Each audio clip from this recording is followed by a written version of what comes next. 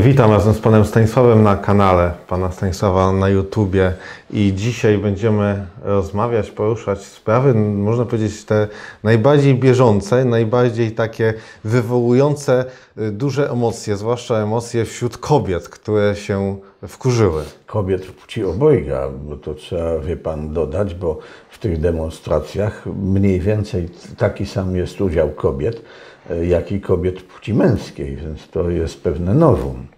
E, Tutaj mieliśmy do czynienia te dwa tygodnie temu y, do sytuacji związanych z atakami na kościoły, na niszczeniu właśnie elewacji tych kościołów i tutaj akurat przypomina mi się y, ta, te sytuacje związane na przykład z rewolucją francuską czy rewolucją bolszewicką. Patrzeć właśnie na ten rys historyczny, gdzie no rzeczywiście ci rewolucjoniści pierwsze co no to zaczęli no, niszczyć kościół, niszczyć kościoły i niszczyć instytucje kościoła. No tak, jeszcze jedna jest analogia, jeśli pan pozwoli. I w przypadku rewolucji francuskiej, i w przypadku rewolucji bolszewickiej, wszystko się zaczęło od kobiet.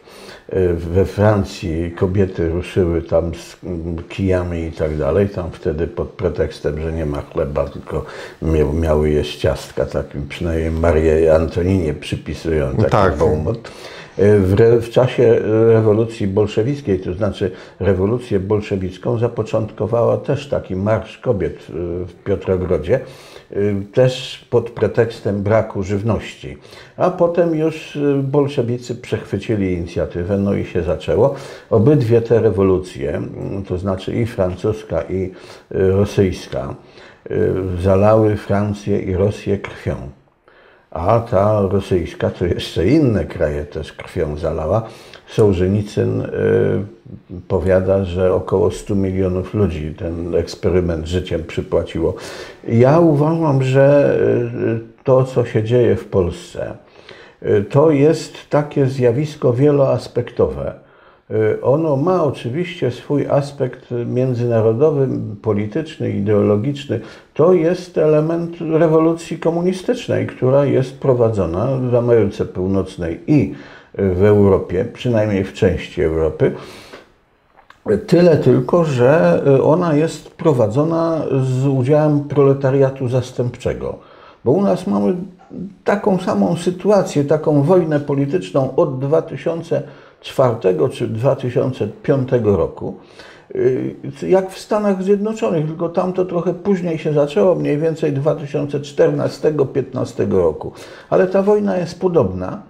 Y, Mimo kraj jest podzielony, społeczeństwo jest podzielone tak na dwa takie mm, zwalczające się się obozy. Y, Z tym, że jest różnica przy tych wszystkich podobieństwach, mianowicie y, taka, że w Stanach Zjednoczonych rolę proletariatu zastępczego pełnią murzyni i tam tacy rozmaici mikrocefale, y, natomiast u nas y, kobiety. Jak mówię, kobiety płci obojga, bo nawet w tej Radzie Konsultacyjnej, która tam została powołana, to obok pani Mar- Marty Lempart, obok pani Labudy, obok pani Moniki Płatek, no to jest kobieta rodzaju męskiego w osobie pana Michała Boniego, byłego tajnego współpracownika Służby Bezpieczeństwa. Więc widzimy, że Rada została skompletowana jak się należy i tam widać, że pierwszorzędni fachowcy y, musieli tam maczać palce, ale to nie jest istotne. Y, y, Rada sformułowała, bo początkowo takim detonatorem właściwie tego całego, tej całej awantury to był ten wyrok Trybunału Konstytucyjnego w sprawie aborcji eugenicznej. Jeśli pan pozwoli, to się odniosę do niego merytorycznie. Nie no, to E, jednak jak, tak, koniecznie. Ten wyrok nie mógł być inny.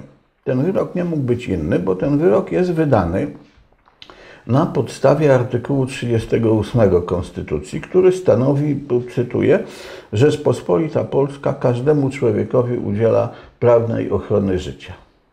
Każdemu człowiekowi, a więc bez względu na fazę życiową, w jakiej się znajduje, czy to jest prenatalna, czy schyłkowa, to nie ma tego znaczenia, bez względu na stan zdrowia takiego człowieka. Może być zdrowy, może być chory, ale ochrona cały czas jest taka sama.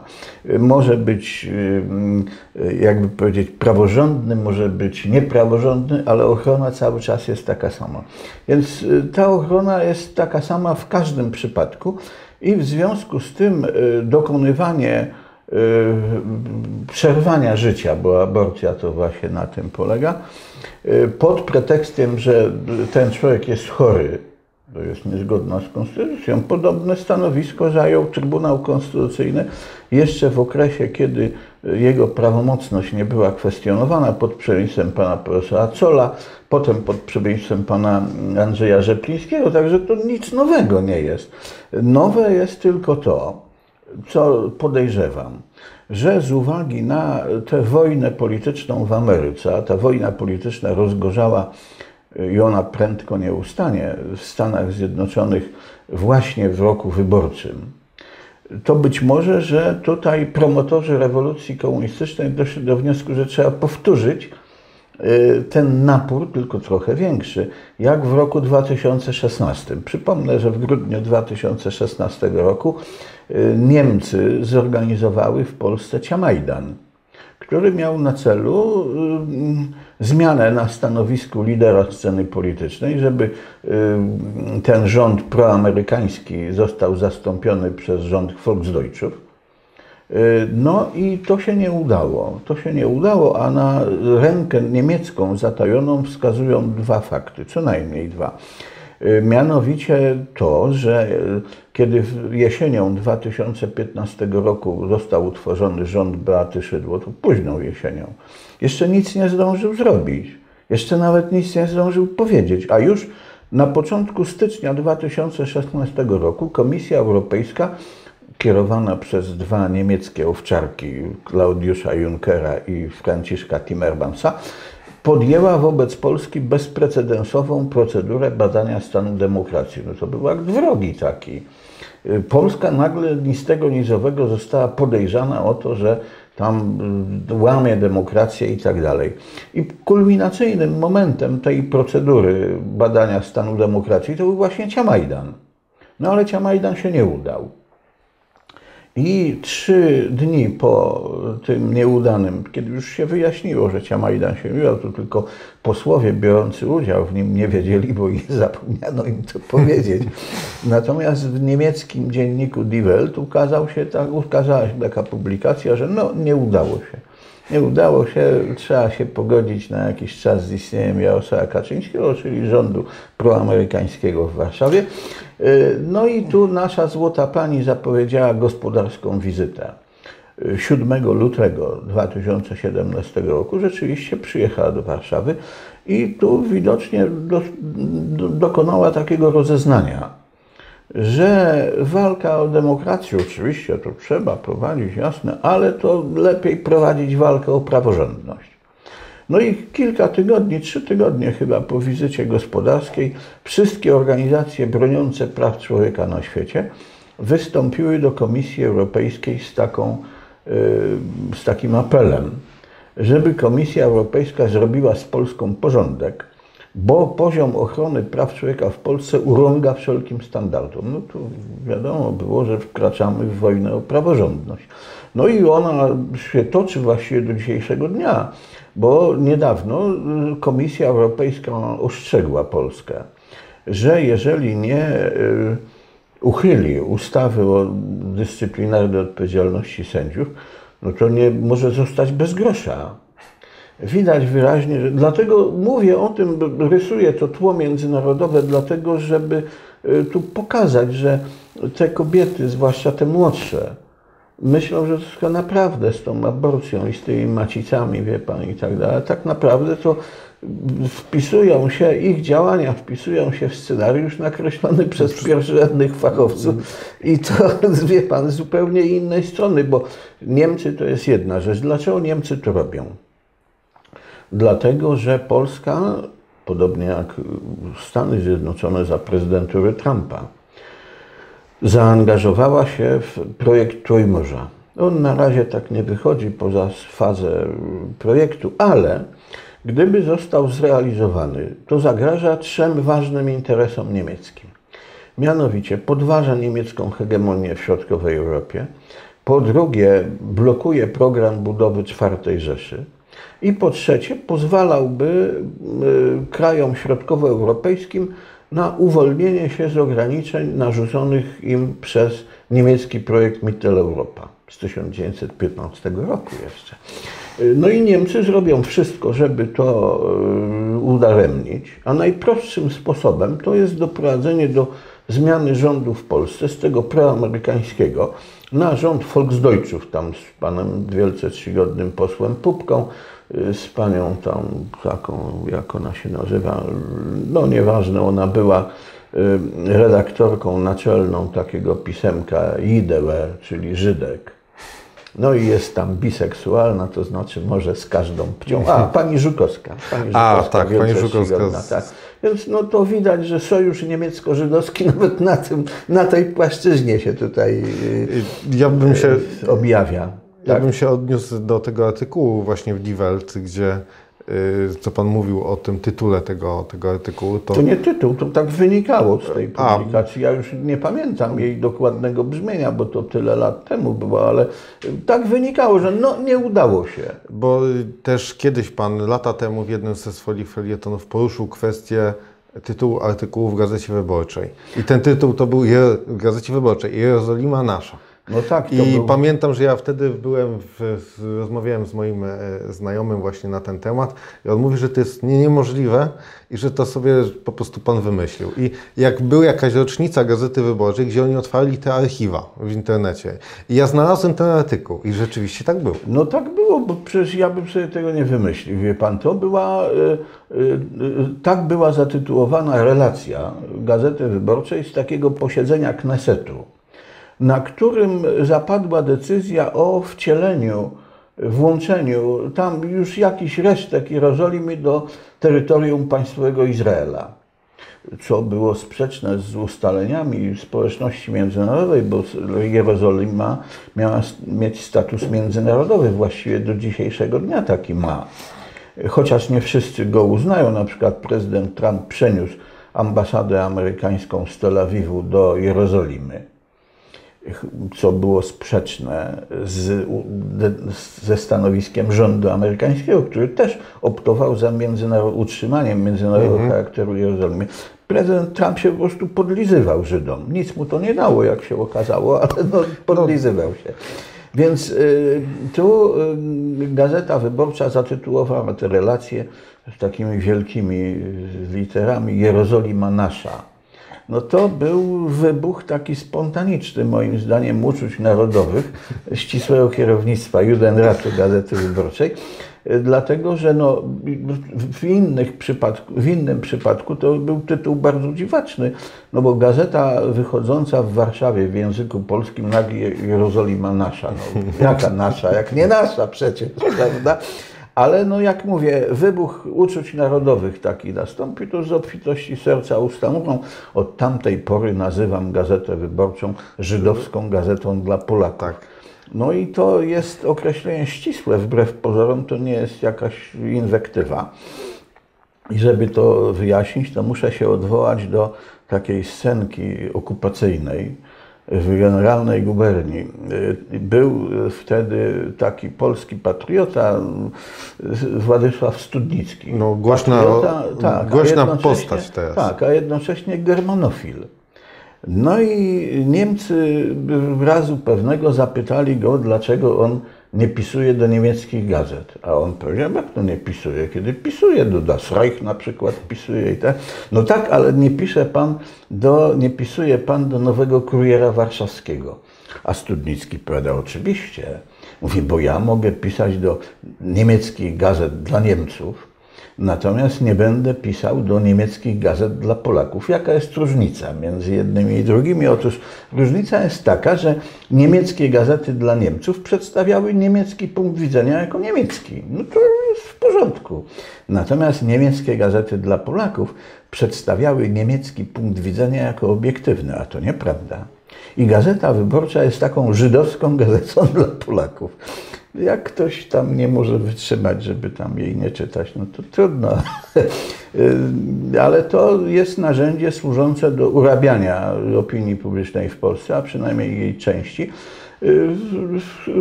w, kierunku oczekiwanym przez diasporę żydowską. A ponieważ teraz mamy ścisłą koordynację poczynań niemieckich i żydowskich, przynajmniej w odniesieniu do Polski, no to ten fedus jest naturalny. No ja bym tu wrócił jeszcze do tej kwestii tych e, ostatnich e, wystąpień, tych protestów, bo teraz można sobie zadać pytanie, w co gra Jarosław Kaczyński. Bo tutaj chciałbym przypomnieć, że jak w sobotę przed tym wielką manifest, manifestacjami była manifestacja przeciwko e, lockdownowi, przeciwko tym obostrzeniom, jakie- jakie są wprowadzane, to policja mm, użyła gazu, pałek, zresztą biegała, biegała za tymi protestującymi aż od placu Defilat do placu Bankowego, aż tam część została zamknięta w kordonie, a reszta musiała się rozejść. I w ciągu paru godzin stosunek policji do protestujących zmienia się e, diametralnie. Mianowicie, jak wychodzą tam ci kobiety i ci mężczyźni protestować przeciwko decyzji Trybunału, to policja nie używa gazu, nie używa pałek, nie spisuje masowo, nie każe się rozejść, tylko stoi i patrzy. Myślę, że Jarosław Kaczyński, który no, miał i ma bardzo poważne trudności wewnątrz swojego obozu, już nie mówię o tej wojnie politycznej, którą tam obóz zdrady i zaprzaństwa z nim prowadzi, ale wewnątrz swojego obozu, zwłaszcza w tym roku, to się w- takim spektakularny sposób objawiło, wykombinował sobie, że sprowokuje taki kryzys, no i dzięki temu odzyska przywództwo. Że wszyscy się skupią wokół niego. Kryzys kontrolowany, tak? E, Tak, tak i zarządzanie kryzysem. To się nazywa zarządzanie kryzysem. Jarosław Kaczyński to umie. Ale wydaje mi się, że tym razem się przeliczył. Dlatego, że mm, takiego wybuchu się nie spodziewał. Znaczy nie spodziewał się tego, że mm, inicjatywę przejmą nie tam pani Lempart, bo to tylko pierwszorzędni fachowcy. Pierwszorzędni fachowcy. Proszę pana, y, roz, wywołanie rozruchów, bo to są rozruchy, tam noszą, noszą transparenty, te dziewuchy, że to wojna i tak dalej. Nawet moja faworyta, pani wielce czcigodna Joanna Szoryń-Wielgus, nam tam go odgrażała się, wykrzykiwała, że to wojna. Otóż widać wyraźnie, że to jest biedne dziecko, wie pan, głupie. Ona nie wie, jaka jest różnica między wojną i niewojną. Otóż wojna nie polega na tym, że strony wojujące tam się przekrzykują, czy się licytują na sondaże. Tylko wojna polega na tym, że strony wojujące się mordują nawzajem. To wojny jeszcze nie ma, ona może być, ale jeszcze nie ma i myślę, że wie pan, zwłaszcza kobiety, to nie powinny tak wywoływać wilka z lasu, bo co się może dziać w zdobytym mieście z kobietami? O, każda musi się liczyć z tym, że zostanie osaczona przynajmniej przez sotnię kozaków. No pytanie, kto No i będzie- miała wspomnienia traumatyczne, że dokończać do śmierci, o ile przeżyje ten eksperyment. Także, ale to mniejsza z tym. Więc Jarosław Kaczyński sobie wykombinował, że y, w tej, w, ty, ten kryzys sprawi, że wszyscy ponownie się skupią wokół niego, no bo nie będą mieli innego wyjścia. I dlatego stąd taka pobłażliwość policji w stosunku do tych. Jarosław Kaczyński sprowokował y, ten kryzys właśnie y, pobudzając, tak to nazwę, Trybunał Konstytucyjny do wydania orzeczenia, które inne nie, był, nie mogło być. No to, to on doskonale o tym wie, że inne nie mogło być. I by, był przekonany, że to sprowokuje oczywiście te wszystkie, wie pan, rewolucje macic, mówiąc krótko, zapoczątkuje w Polsce. I zapoczątkowało. Tyle tylko, że i proszę zwrócić uwagę, że pierwszym skutkiem tej rewolucji macic to było wypchnięcie Kościoła katolickiego na pierwszą linię frontu, do czego Kościół był absolutnie nieprzygotowany. No, nie, Absolutnie, pod żadnym względem i wie pan, technicznym, i logistycznym, i moralnym nawet, bo się okazało, że Kościół w Polsce nie ma żadnego przywództwa.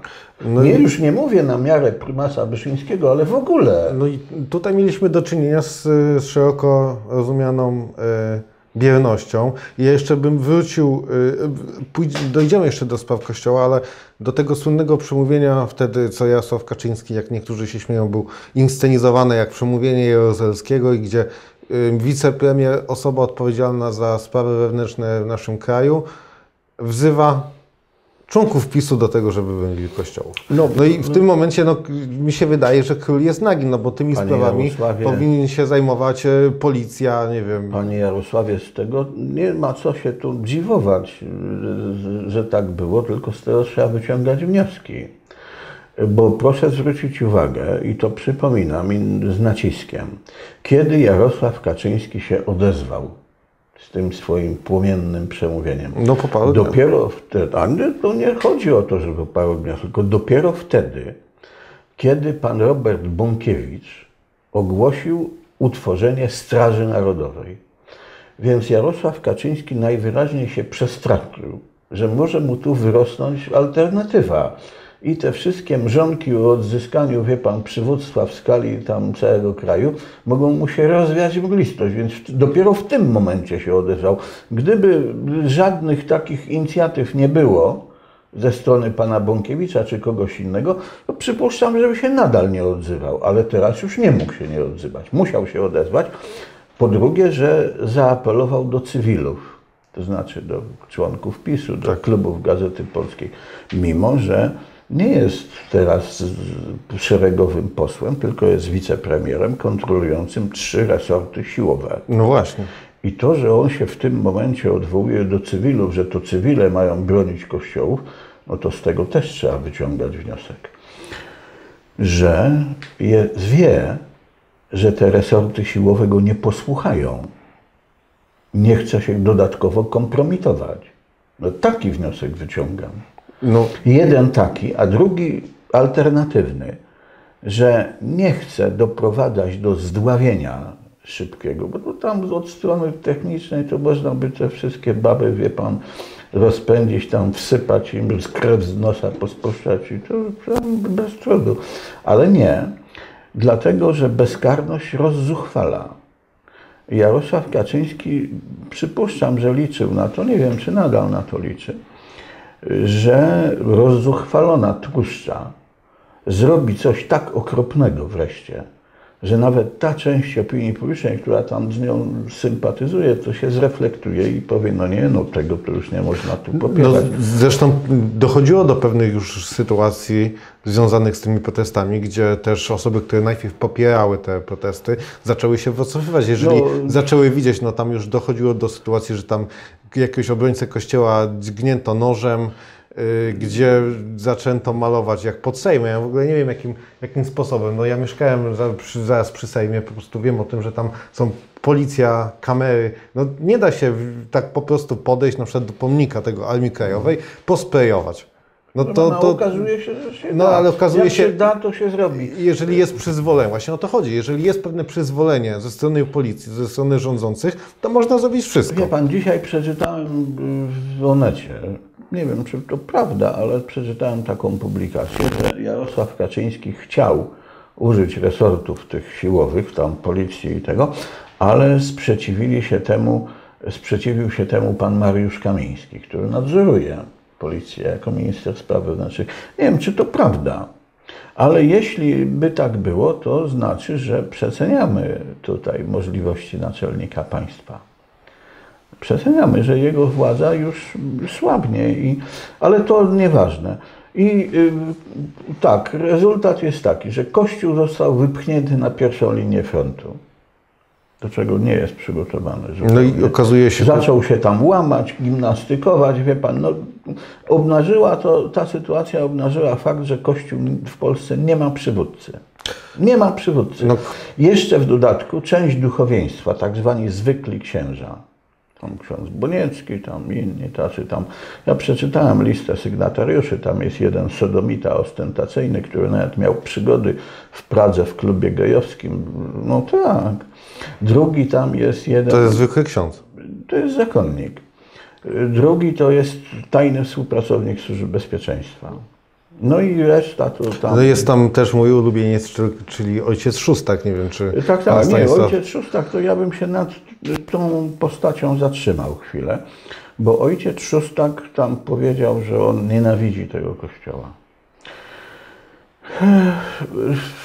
Według teologów, do których ojciec Szóstak przyglądny należy, kościołem jesteśmy my wszyscy. nie tylko hierarchia, nie tylko duchowieństwo, tylko my wszyscy. To znaczy ojciec Szóstak albo jest głupi i zapomniał o tym, albo nie zapomniał i po prostu nienawidzi nas wszystkich. Wolno mu, wolno mu, tylko proszę pana, on nas nienawidzi, a mieszka w budynku należącym do tego kościoła znienawidzonego i żre kościelny chleb. Więc niech się zdecyduje. Ja dlatego napisałem, że gdyby to ode mnie zależało, to Dominikanów z Polski wypędził na szpicach butów, dlatego że tolerowali najpierw w swoich szeregach tajnych współpracowników Służby Bezpieczeństwa, a teraz tolerują takich jegomościów jak przewielebny ojciec Szostak czy przewielebny ojciec Paweł Górzyński.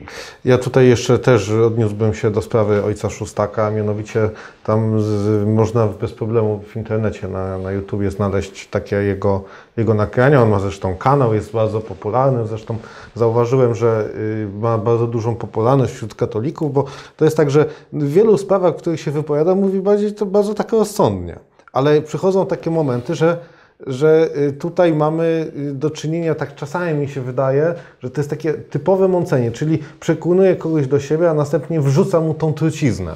Proszę Jak już, pana, jest, no- jak już się wydaje, że wszystko jest w porządku. I tylko skończę. Tak. On miał wypowiedź bodajże z marca tego roku, gdzie właśnie było na temat aborcji, że on nie wierzy, że politycznie da, da się wprowadzić zakaz aborcji w Polsce, ale jeżeli by doszło do takiej sytuacji, to on absolutnie będzie popierał tą, tą już tak mówię swoimi słowami, tą jakby stronę polityczną i, i, i będzie bardzo szczęśliwy z tego powodu. Już tak sk- skracam to. I mamy jego kolejną właśnie wypowiedź, do której Pan się odniósł, czyli o tym, że nienawidzi tego kościoła i on w pewnym, w pewnym momencie właśnie podpisuje ten apel tych zwykłych księży Więc i do dochodzi tego- do zaprzeczenia. Do tego bym chciał, proszę pana, jeszcze nawiązać do tego apelu, bo on był jednym z sygnatariuszy. Tak. Tam jest takie są patetyczne, wie pan, frazesy o tam Jezusie Chrystusie, Ewangelii i tak dalej, ale potem wyłazi z Archanioła stara świnia. Wie pan, bo jest tam taka, e, takie zdanie, że nie powinno się popierać sił szowinistycznych i ksenofobicznych. To znaczy, że siły nieszowinistyczne i nieksenofobiczne, czyli internacjonalne, to trzeba popierać. To można, wolno popierać. Dlatego to jest, wie pan, pod pozorami apolityczności ewangelicznego takiego ćwierkania została złożona deklaracja polityczna, na co zresztą zwrócili uwagę sygnatariusze listu po właśnie sporządzonego przez Dominikanów, którzy ten apel zwykłych księży pryncypialnie za to właśnie skrytykowali. Za to, że to jest obłudne, proszę pana, pod frazesami apolitycznymi i ewangelicznymi, obłudne forsowanie pewnej koncepcji politycznej. I dlatego, wie pan, no, całe szczęście, że ci Dominikanie tam się podpisali pod tym drugim, a też nie wszyscy. Ale też nie wszyscy, to znaczy, że ten zakon jest rozchwiany, wie pan, teologicznie, politycznie, pod każdym i dyscyplinarnie.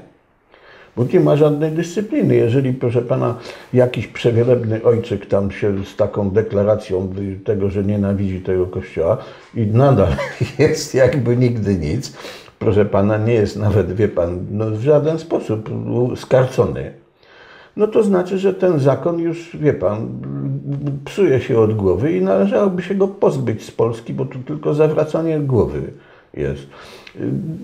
I nie, dlatego, że tam to są katolicy zakonnicy, tylko dlatego, że ten zakon już widocznie, wie pan, się zaśmierdział. No i tyle. Ale wracam do tego politycznego, wie pan, wątku, do tego politycznego aspektu. Wydaje mi się, że Jarosław Kaczyński miał takie cele. Al, alternatywne. Albo, proszę pana, wiedział, że y, resorty siłowe go nie posłuchają, co jest bardzo prawdopodobne.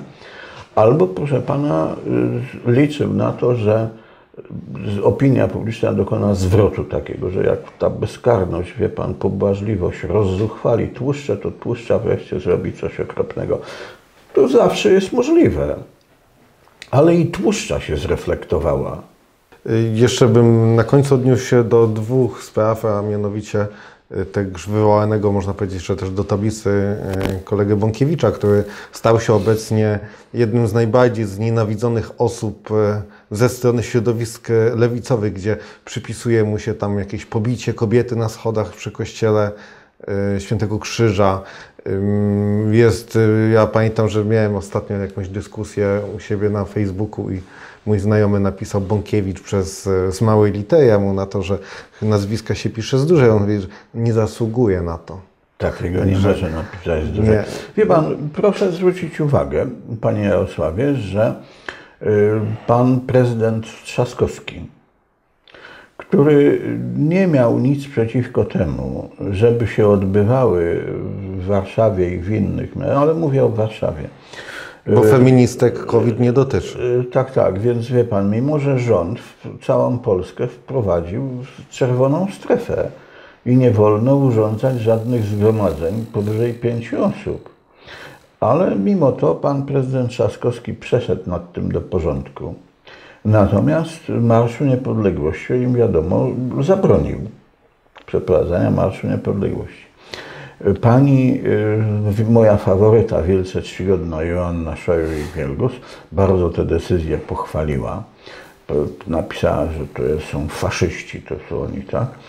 Y, No, ten marsz się odbędzie w postaci samochodowej. Nie wiem, czy policja nie, za, nie zabierze praw jazdy wszystkim kierowcom, którzy chcieliby wziąć udział w tym Marszu Niepodległości, ale mniejsza o to. To pokazuje, widzi Pan, że to, co ja mówię od dawna, od samego początku, że y, te obozy, to znaczy obóz dobrej zmiany i obóz zdrady i zaprzaństwa, niby prowadzą taką wojnę na wyniszczenie między sobą, ale w sprawach istotnych to idą ręka w rękę. Jarosław Kaczyński się boi Roberta Bąkiewicza, że on mu tutaj, albo, znaczy on, ale że wy, może dzięki temu wyrosnąć alternatywa polityczna. A tamci też się tego boją, bo oni wolą wojować z PiSem.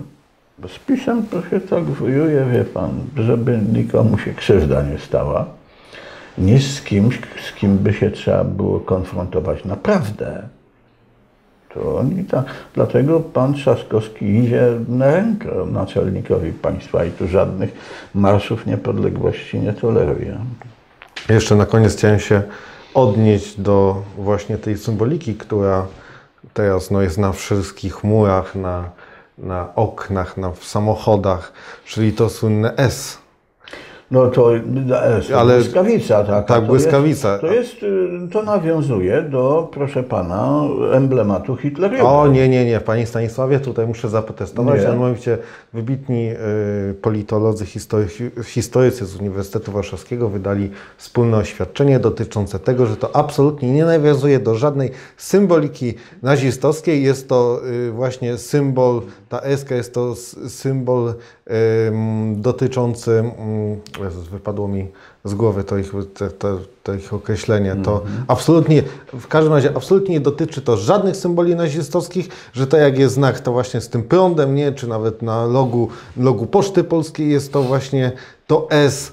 Także tutaj jest to nadużycie, jest to niesprawiedliwe i absolutnie nie można używać takiej retoryki, o której Pan, Proszę właśnie, pana, no pan ja, wie pan, oświadczenia politologów to olewam ciepłym To moczem. historycy byli, przepraszam. czy historyków.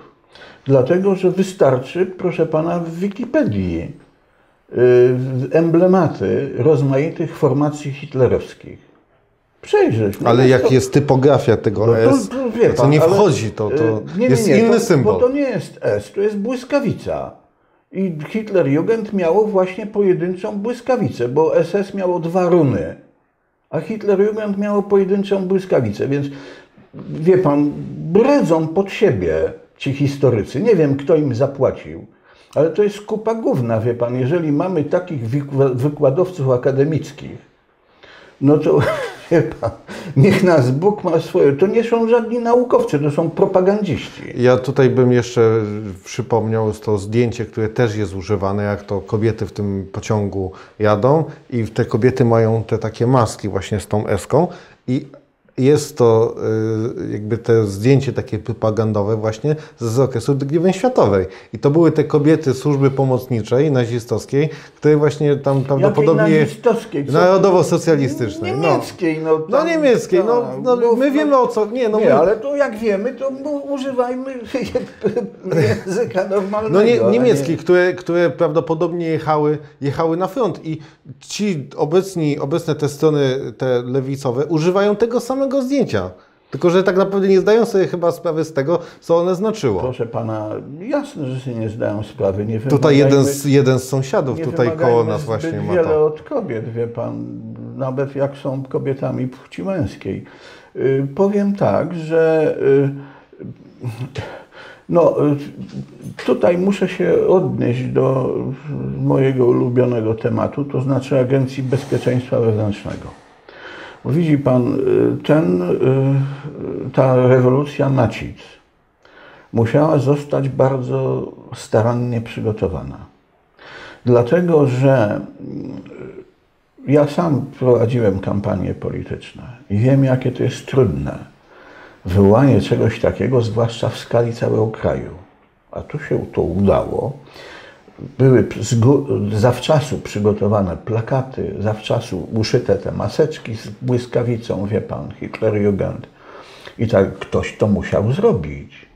Ktoś to musiał zorganizować, to samo się nie zrobiło. Ktoś musiał dać na to pieniądze. Ach, nie wierzy pan, spontaniczne wybuchy. No nie wierzę, nie, nie wierzę w spontaniczność, proszę pana, bo to wie pan, jak tu już się produkuje gadżety, to nie ma żadnej spontaniczności. To pan Sławomir Nowak tak rozpoczął swoją karierę polityczną od właśnie sprzedawania takich gadżetów, więc on najlepiej by, wie pan, wiedział, że to nic tu spontanicznego się nie dzieje.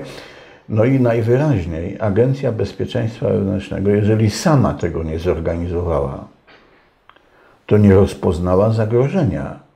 Bo proszę zwrócić uwagę, że pewnego dnia w tych demonstracjach wzięła udział Antifa. Wzięła udział Antifa, co by wskazywało na tutaj niemiecką zatajoną rękę. Kolejny, wie pan, taki, taka wskazówka. I jeżeli Agencja Bezpieczeństwa Wewnętrznego takich rozległych przygotowań nie zauważa, jeżeli nie penetruje tych środowisk, no to właściwie pod jakiego diabła nam taka banda darmozjadów? Wie pan, rozpędzić to towarzystwo na cztery wiatry, dlatego że jakbyśmy nie mieli żadnych tam służb takich tajnych, no to byśmy nie wiedzieli, że nie mamy i że tu trzeba uważać i tak dalej. A my jest, żyjemy w przekonaniu, że mamy tu jakieś służby bezpieczeństwa, które pilnują państwa. Które mają nas chronić. Tak, a tu okazuje się, że nikt, nikt, nikt czego nie pilnuje. wie pan. No to pod jakiego diabła wydawać miliony złotych na takich darmozjadów? Niech idą, wie pan, do kopalni i tyle. To nie jest zbyt optymistyczne na, na, na naszą przyszłość. Proszę pana, nie, no dlaczego niezbyt optymistyczne? Można y, z- ogłosić opcję zerową. Albo, proszę pana, każdą formę agentury wytępić ogniem i żelazem. No, to właśnie zgubiło Polskę w XVIII wieku. Że, proszę pana, agentura była tolerowana w strukturach państwa. No i teraz jest nadal tolerowana. To jeżeli taka sama przyczyna doprowadziła do, zlikwido, do zlikwidowania państwa polskiego w XVIII wieku, to skąd możemy czerpać pewność, że teraz nie doprowadzi? No właśnie tak, można powiedzieć, że na zakończenie ta obecna sytuacja, jak nie wiem, jak dla mnie, nie wiem, jak dla Pana właśnie jest y, głównie kojarzona z tym okresem przedrozbiorowym, kiedy te obce agentury y, no, rządziły tak naprawdę Pols, po, państwem polskim, no, przy, przy, że tak powiem, no, głównym udziale Rosji, która najbardziej kontrolowała tą sytuację i zresztą było jej nie na rękę to, żeby doprowadzać do kolejnych rozbiorów, jak można rządzić całym krajem, Proszę pana- nie, nie, nie, nie, nie mając go w swojej granicach. Proszę pana, tak, ale nie możemy zapominać, że takim pomysłodawcą, bo tak jak pan słusznie zauważył, Rosja, Rosji zależało najpierw na przejęciu całego państwa polskiego. Co miałoby oczywiście fatalne skutki, ale miałoby jedną zaletę, plus dodatni by był tu, że tery, polskie terytorium państwowe nie byłoby podzielone Natomiast y, zwolennikiem rozbioru był Fryderyk. Tak, Był. Fryderyk i nie trudno się domyślić dlaczego. Otóż y, w wyniku rozbiorów Polski terytorium Prus się podwoiło i liczba poddanych Fryderyka Wiel- Wielkiego się podwoiła. A więc i wpływy podatkowe się podwoiły albo nawet zwielokrotniły. Więc wie pan, rękę niemiecką zawsze trzeba zakładać. Niemcy są sąsiadem Polski, y, tak jak Prusy były sąsiadem Polski, a ponieważ Niemcy się zjednoczyły pod egidą pruską, to bardzo dużo z tego spadku, wie pan, po Prusach przejęły. Myślę, że właściwe zrozumienie teraźniejszości i przeszłości wynika z odpowiedniego zrozumienia naszej przeszłości, naszej tej historii wcześniejszej. I też tutaj w, w tym momencie chciałbym razem z panem Stanisławem polecić naszą najnowszą książkę, która wyjdzie pod koniec listopada, czyli Zmora, sekrety najnowszej historii Polski. Także dziękujemy Państwu za to, że jesteście z nami.